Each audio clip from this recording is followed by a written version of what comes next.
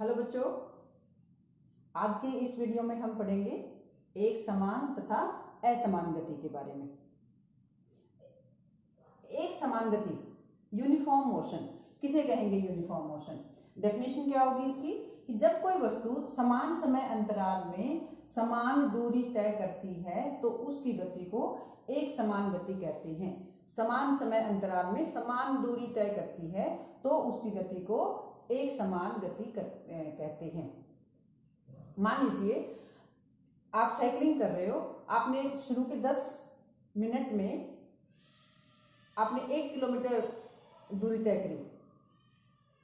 अगली बीस मिनट में दो किलोमीटर की दूरी दूरी तय करी साठ मिनट तीस मिनट में आपने तीन किलोमीटर की दूरी तय की तो हर दस मिनट में आप एक किलोमीटर की दूरी तय कर रहे हैं। समान समय अंतराल में समान दूरी तय कर रहे हैं तो ऐसी दूरी को हम एक समान गति कहते हैं। ऐसी गति को हम एक समान गति कहते हैं। असमान गति। जब कोई वस्तु समान समय अंतराल में असमान दूरी तय करती है तो उसे असमान गति कहते हैं। आप जब साइकिलिंग कर रहे हैं, रास्ते में बहुत ज़्यादा ब्रेकर हैं जगह जगह भीड़ है तो आप हर दस मिनट में एक समान दूरी तय नहीं कर पाएँगे। शुरू के दस मिनट में मान लीजिए आपका बहुत ओपन एरिया था, वहाँ भीड़ नहीं थी तो आपने शुरू के दस मिनट में तीस मीटर साइकिल कवर कर ली आपने, एक किलोमीटर साइकिल चला ली और अगले दस मिनट में आप केवल आधा किलोमीटर ही चला पाए। अगले दस मिनट में और भी भीड़ थी तो और भी कम दूरी तय कर पाए। तो समान समय अंतराल में जब कोई वस्तु असमान दूरी तय करती है तो उसकी गति को असमान गति कहते हैं।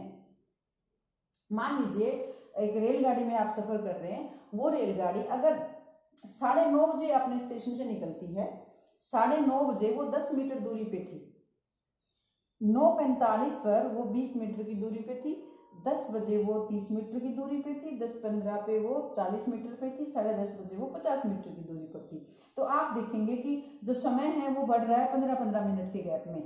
और दूरी कितनी बढ़ रही है? दस दस मीटर में। तो हम कह रहे हैं कि हर पंद्रह मिनट में गाड़ी दस मीटर की दूरी तय कर रही है तो इस गाड़ी की जो गति है वो एक समान गति है। अगर वही साथ में दूसरी गाड़ी अगर चलती है, जो साढ़े नौ बजे दस मीटर पे थी, लेकिन वो नौ पैंतालीस ए एम पर, वो बारह मीटर की दूरी पे है, दस बजे वो बीस मीटर की दूरी पे है, सवा दस बजे वो पच्चीस मीटर पे है साढ़े दस बजे वो पैंतीस मीटर पर है। तो हम देखें कि हर दस मिनट में उसकी तय की गई दूरी। यहाँ पर केवल दो मीटर है, यहाँ पर आठ मीटर है, यहाँ पर पाँच मीटर है और यहाँ पर दस मीटर है।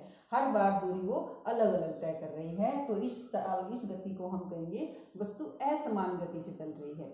यहाँ हम कहेंगे वस्तु समान गति से चल रही है। हमारे दैनिक जीवन में लगभग सभी गतियाँ असमान गति हैं। आप देखो, घर से आप टाइम पर निकलते हो, गाड़ी में, रास्ते में, हर जगह कहीं ब्रेकर आ गया, आपको स्पीड कम करनी पड़ती है। प्लेन रोड आ गया, स्पीड बढ़ जाती है, भीड़ आ जाती है, फिर से स्पीड मंदी हो जाती है। तो इस तरह से हमारी गाड़ी की जो चाल है, वो असमान चाल है। तो ये हमने समझा कि एक समान तथा असमान गति में क्या अंतर होता है? इसे अगली वीडियो में हम पढ़ेंगे। गति की दर किसे कहते हैं? अर्थात चाल किसे कहते हैं? Thank you